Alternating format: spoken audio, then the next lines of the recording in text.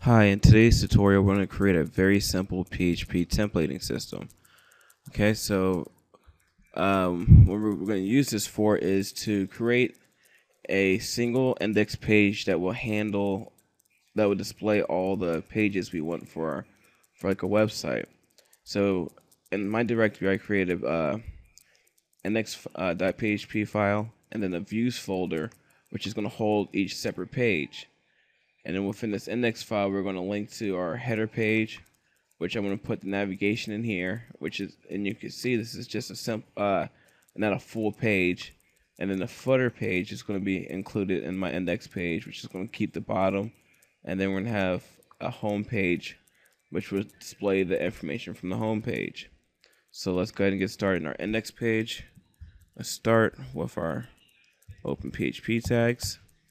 And we're going to do let's go ahead and include.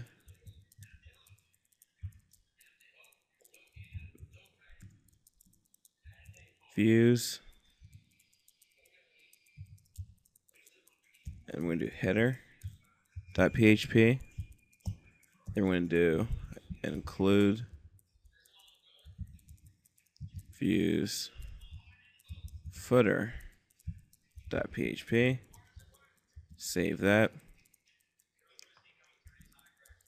Hop in Google Chrome, refresh. Let's look at the source, and this is what we get. So it's going to combine the two files within that page. All right, so we can get out of that. And right here, we're going to include views.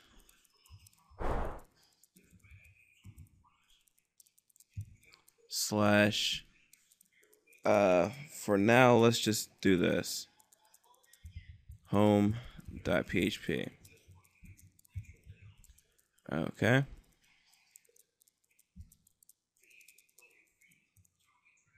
And then we go back into our back into Chrome refresh. The source is displaying the home page all right, so we can close this out. And then let's go ahead and make this dynamic. All right, what we're going to do is up here at the top, let's do if statement, if is set, get page. All right, so what this is going to do is allow for this. So index.php and we do page equals say home. And this will display the home page or the about page or blog whatever you want to uh, put in there.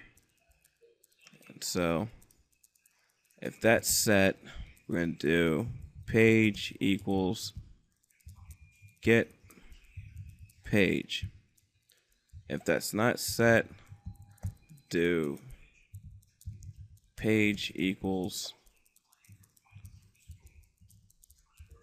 home. That'll be our default page. So we can go down in here and go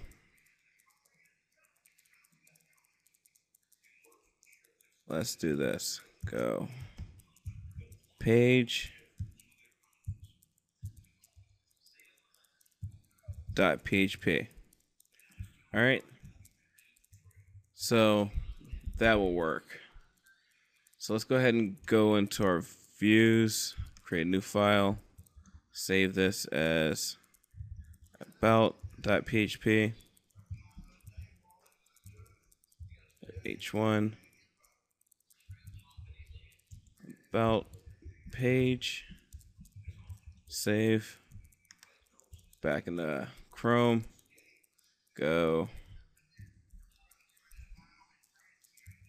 here and let's do page equals home. That works. And about. All right. So we see that that works. Now let's go ahead and do simple er uh, error checking. So like say if somebody was to do uh, blog. We don't want that to pop up. So what we can do is oh, with a simple if statement right here. Do if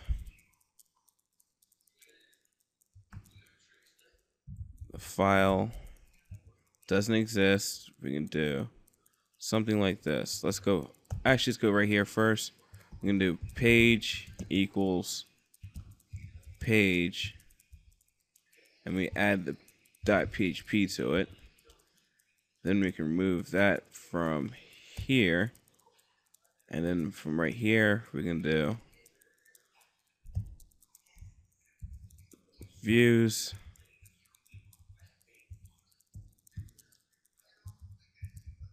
Page. So if that file does not exist, just for the sake of this tutorial, we can do uh, die error page not found.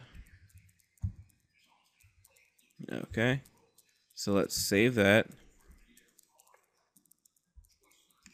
Back into Chrome, refresh, page not found. If we do about, okay. All right, and then if we was to take all this off,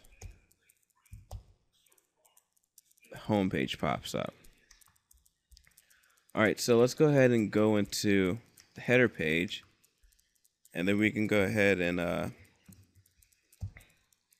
add some navigation. So we can do nav, ul, li.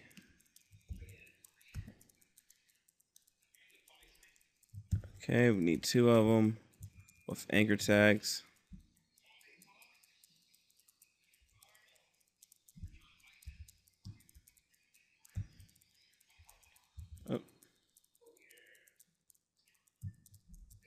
Okay, that's not working. So let's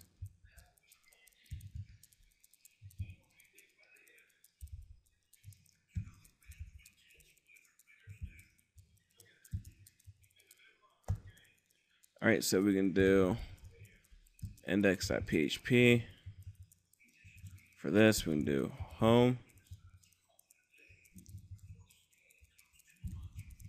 index.php page equals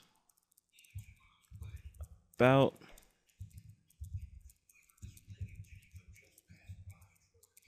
all right save that. Refresh. Now we have links on each uh, page so that's how to make a uh, really quick simple php templating system. Uh, maybe and if if enough likes or if this video is liked enough i'll show how to do a dynamic uh, links how to search through the search through and loop through the views directory to pull out the page uh, pages for the links. So go ahead and give this video a like and uh, thanks for watching. If you haven't subscribed to my channel go ahead and subscribe now. Thanks